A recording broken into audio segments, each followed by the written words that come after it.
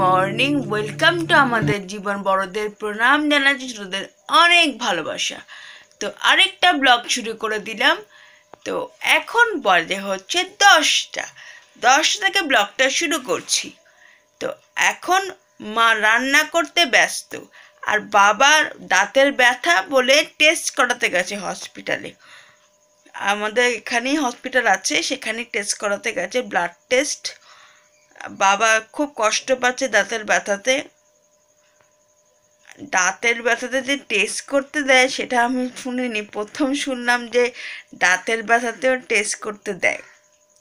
তো যাই হোক, দাঁতের ব্যথাতে বাবার বোধহয় যেহেতু অ্যাঞ্জিওপ্লাস্টিক করা, সেই জন্য বোধহয় রিস্ক নেবে না বলেই হয়তো টেস্ট করাতে দিয়েছে, আবার বর্ন সাইনও করতে বলেছে। সব মিলিয়ে খুব, বাবা খুব নার্ভাস হয়ে রয়েছে। তো যাই হোক, আমাকে মা এখন ব্রেকফাস্ট দিয়েছে। তো ব্রেকফাস্ট করব। ব্রেকফাস্ট ইউজুয়াল ছাতু খাব। মা খুব হুটোপাটা করছে রান্না। আর আমি তাড়াতাড়ি অনেকক্ষণ উঠেছি ঘুম থেকে। আমার কাছে এখন জানো তো ঘুমটা খুব ফ্রেশ হয়, খুব মানে ডিপ স্লিপ হয়। আর এখন ঠান্ডাটাও কমে গেছে সেই জন্য এখন কম্বল, মুড়ি দিয়ে ঘুমাতেও হয় না সেই জন্য আর অত প্রবলেম হয় না। একদম ছড়িয়ে ঘুমাই।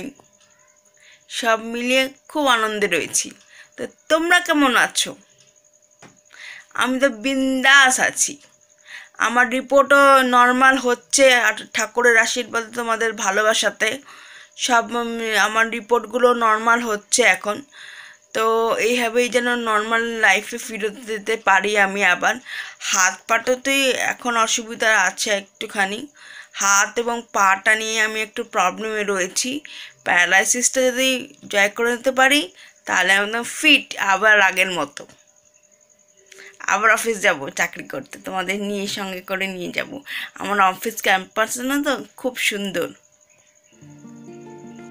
সেকেন্ড ফ্লোরে আমি এখন উঠছি।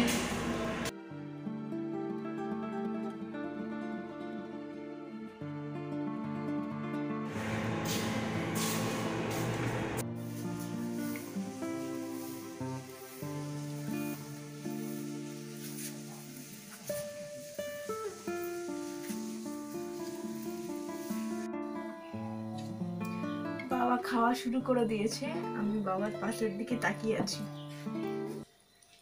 গুড আফটারনুন ফ্রেন্ডস তো দুপুরবেলা আজকে মেয়ের সাথেই খেতে বসলাম। আজকে আমি একটু হসপিটালে গেছিলাম। আমার ওই ব্লাড টেস্ট ছিল। ওই জন্য ব্লাড দিতে গেছিলাম। সে অনেক কিছু টেস্ট দিয়েছে। দাঁতটা ব্যথা বললাম না। ওই দাঁত তুলতে হবে বলে সমস্ত কিছু টেস্ট তারপরে আবার বনসই করে তবে নাকি তুলতে হবে দাঁত। এই আবার কোথাকার নতুন নিয়ম। যাই হোক, ওই জন্যই ব্লাড দিতে গেলাম ব্লাডটা টেস্ট হবে। তো এসে মেয়ের সাথে দেখলাম, মেয়ে বসে আছে স্নান করে। এলন চ, একসাথে খেয়ে নি। তো আজকে রান্না করেছে, দেখুন, উচ্ছে আলু ভাজা, একটা তরকারি আর আলুর ঝোল। এই দিয়ে আজকে আমাদের খাওয়া, যেহেতু আজকে শনিবার, সেহেতু নিরামিষ, আমাদের একদম নিরামিষ আজকে, ওই জন্য এগুলো খাচ্ছি। এখন মেয়ে খাবে। আমি শুরু করো। আমার বাবার স্টাইলটা দেখতে এরম এরম এরম এরম করে মাখে। এরম এরম করে মাখে।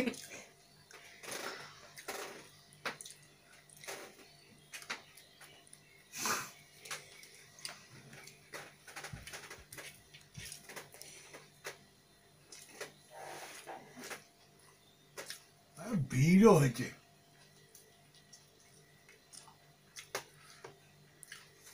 এই পাশ দিয়ে আমি খেতে পারছি না এই পাশ দিয়ে খাচ্ছি শুধু। যা খাই সব এই পাশ দিয়ে। ব্রাশ করে ঠিক করে তাহলে আর কি হবে? ব্রাশ করে? এই নুন কম হয়েছে একটু নুন দাও না। ওই দে দেখেছিস? নুন হয়নি উচ্ছে আলুতে। ঠিক আছে কম হয়েছে তো কি হয়েছে? কমটা কি খাওয়া যায় না? একটু নুন না খাওয়া যাচ্ছে না। ওরে বাবা। দেখে দেখে নুন হ্যাঁ ওই দেখ কত কতটা ঢাললো বল। কি বলবি? নুনে পোড়া খাওয়ার খেতে নুনে পোড়া মুখ। সত্যি কথা আর বলিস না।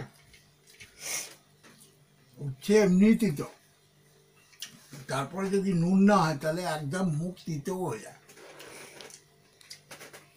নে তুই শুরু করে দে। খাওয়া। তোর বাবা চালু করে দিয়েছে। আমি খাব দাঁড়াও। আমি একটু একটা রগড় দেখছি। রগড়টা দেখে নি তারপরে খাব। কিসের রকম খাও না। অবস্থা খাওয়া নিয়েও ও রকম দেখছে।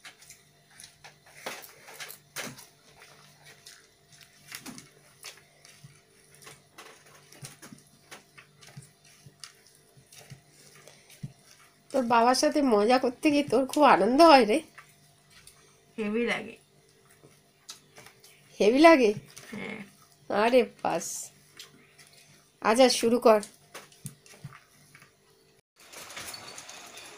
তো আজকে আমি রেশন নিতে এসেছি।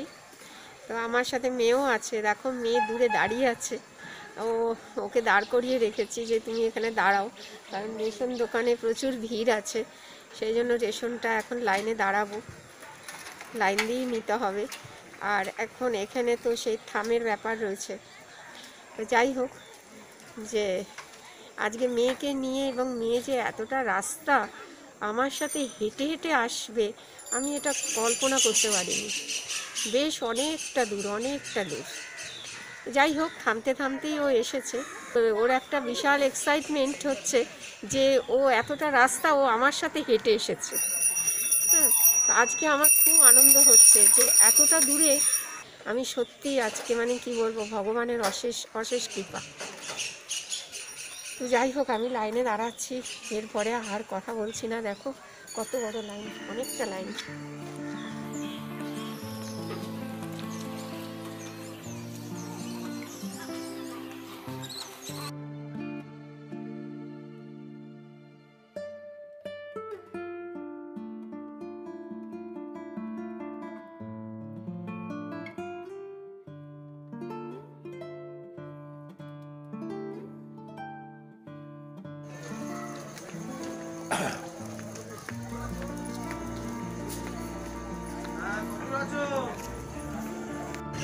অনেকক্ষণ দাঁড়িয়ে আছো।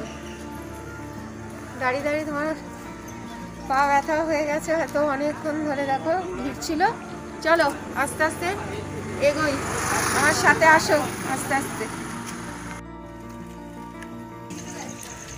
তো আমি বিকেলবেলা মার সাথে হেঁটে হেঁটে বিকেলবেলা বাড়ি থেকে বেরিয়েছি। তারপরে তো অনেকক্ষণ লেগেছে আসতে। তো এখন সন্ধে হয়ে গেছে এখনও মার হয়নি। তো আমি দাঁড়িয়েই রয়েছি। পা ব্যথা হয়ে গেছে, জানো তো? দাঁড়িয়ে দাঁড়িয়ে। তো ভাবলাম কি করব? গাড়ি যাচ্ছে হর্ন আর পাবলিক ভাবছে, ক্যামেরার সাথে কথা বলছে, তো আমাকে সবাই দেখতে দেখতে যাচ্ছে।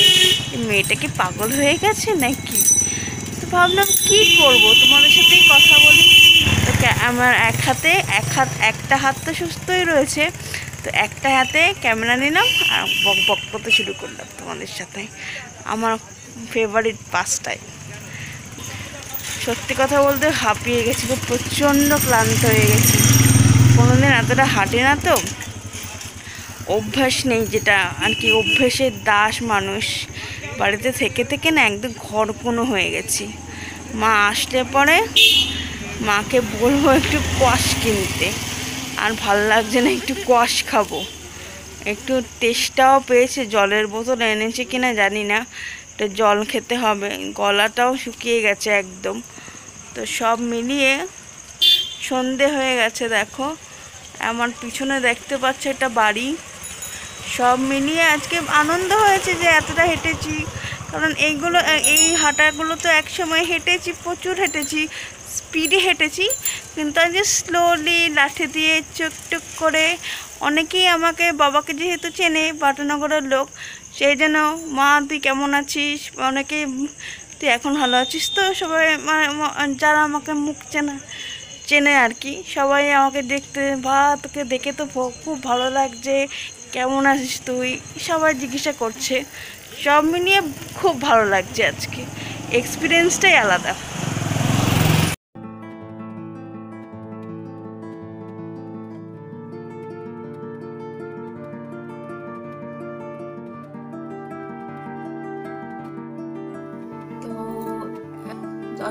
বাড়ি ফিরেছি। তো বাড়ি ফিরে ফ্রেশ হলাম, মুখ হাত পা ধুলাম, তারপরে জামা চেঞ্জ করলাম। তো প্রচণ্ড ক্লান্ত আজকে, এত হেঁটেছি যে রাস্তায় মনে হচ্ছিল কি যেন তো বসে পড়ি, আর হাঁটতে পারছি না। কত মাকে বলছি কি, আর হাঁটতে পারছি না, আমাকে গাড়ি করো। বাড়ির সামনে বলছি কি, ওলা করো। মাকে বলছি, ওলা করো। আর হাঁটতে পারছি না। কিন্তু বাড়ি থেকে কিন্তু বেশি ডিস্টেন্স নয় গো। এমনি সময় যখন আমি স্কুলে পড়তাম, এই ধরো এইটে পড়তাম, ওখানেই কিন্তু টিউশনে যেতাম। নাইন টেনে নাইন টেনে ওদিকেই হায়াতপুর জন্য একটা জায়গা রয়েছে যারা মানে বাটানগরে থাকো, তারা চিনবে। হায়াতপুর বলে একটা জায়গা রয়েছে, ওখানেই টিউশন পড়তে যেতাম। তো এখন আমি হাঁটপুর হাঁটতে পারি না আমাকে, তার জন্য আমি ক্লান্ত হয়ে পড়ি। আর হাঁটার অভ্যাস নেই, বুঝতেই তো পারো। আর লাঠি নিয়ে এক পা এক পা করে আমার দিদাও এক পা এক পা করে হাঁটতো। আমি আগে দিদার কথা কতবার যে বলেছি মাকে আজকে, এই যে মা আমার পাশে বসে আছে, আর আমার মা আমার কথা শুনছে, হাসছে। তো এটা তো হবেই। এখন হাঁটাটা সেইভাবে তো হয়নি যার ফলে ওর একটু কষ্টই হয়েছে। আজকে সত্যি খুব কষ্ট হয়েছে। মানে ভারী কিন্তু হ্যাঁ দূরত্ব বলছে ঠিকই কিন্তু দূরত্ব আমি তোমাদের বলেছিলাম প্রায় দু আড়াই কিলোমিটার হবে। অনেকটাই। গাড়ি করে পাঁচ সাত মিনিটের মধ্যে চলে যাওয়া যায়। আহ, কিন্তু অনেকটাই হাঁটা পথটা অনেকটাই। আর এখন কি বলতো? আর রাস্তা আগে আমি যখন মানে যখন ছোট ছিলাম রাস্তাটা একদম খারাপ ছিল। আর আজকে যখন গেছি একেবারে পিচের রাস্তা করে দিয়ে যে চওড়া রাস্তা। আমি তো দেখি ভাবছি বাবা আমার বাম্পারও রয়েছে। বাম্পারগুলো তো অসু- অসুবিধা হচ্ছে আমার পাড়াতে। তো মাকে ধরে ধরে পার হচ্ছি। কোথায় আমাকে ধরে ধরে পার হবে মা? উল্টো আমি মাকে ধরে ধরে পার হচ্ছি। কাণ্ড বোঝো সব উল্টো পুরাণ। তো যাই হোক তো চেষ্টা করছি। সত্যি আজকে একটা ওর নতুন অভিজ্ঞতা হলো। রাস্তাটাও বড় হয়ে গেছে। আজকে মানে সত্যি আজকে দেখে কারণ আমি এর আগে একদিন গিয়েছিলাম সেদিন চওড়া ছিল। পায়েলের বাবাই আসলে রেশনটা তোলে। তো আজকে যেহেতু ওরও অসুবিধা একটু ছিল মানে সেই জন্য আমি তুলতে পরে সরি আমি ইন্টারাপ্ট করলাম মাকে। কিছু মনে করো না আমার একটা এক্সাইটমেন্টের চোটে একটা কথা তোমাদের জানাই যে আমি অসুস্থতার পরে এতটা হাঁটলাম হাঁটলাম বোধহয় প্রথমবার। হুম। প্রথমবার তো এতটা হাঁটলাম। প্রথমবার এতটা হাঁটলাম। যার ফলে ওর আজকে খুব এক্সাইটমেন্ট আমার পাটা যা ব্যথা না প্রথম আর- বলছিল আমি কি পারব পারব? আবার ভাবলাম আমি একা ওকে রেখে যাব বাড়িতে? আচ্ছা চলো একটু হাঁটাও হবে। কিন্তু অতটা রাস্তা তো পরে ভাবলাম ওকে না আনলেই হয়তো ভালো হতো। যাই হোক আস্তে আস্তে থেমেছে অনেকবারই থেমেছে দাঁড়িয়েছে। কিন্তু ও যে মূল লক্ষ্যে পৌঁছতে পেরেছে এটাই আজকে আমার কাছে পরম পাওয়া সত্যি কি বলতো যাওয়া আসা দুটো করা মানে চারদিঘানা কথা না আমার জন্য। অনেকটা হেঁটেছি আজকে। তো যাই হোক ভিডিওটা এখানেই শেষ করছি। যদি ভিডিওটার কিছু তোমাদের ভালো লাগে তাহলে একটা লাইক করে দিও একটু শেয়ার করে দিও এবং কমেন্ট সেকশনে জানিও কীরকম লাগল তোমাদের ভিডিওটা। এবং আমার প্রয়াসটা কীরকম তোমাদের লাগল? বিকালবেলা গেছি সন্ধ্যের বেলা ঘরে ফিরেছি। রাত হয়ে গেছে? ফিরেছি। রাত হয়ে গেছে। বিকেলবেলা গেছি আর রাত্রিবেলা বাড়ি ফিরেছি। বুঝতে পারছ তো আমার অবস্থাটা? এটাই হচ্ছে জয়স্মিতা কুণ্ডুর কামাল। ঠিক আছে নমস্কার। নমস্কার। শুভরাত্রি। শুভরাত্রি।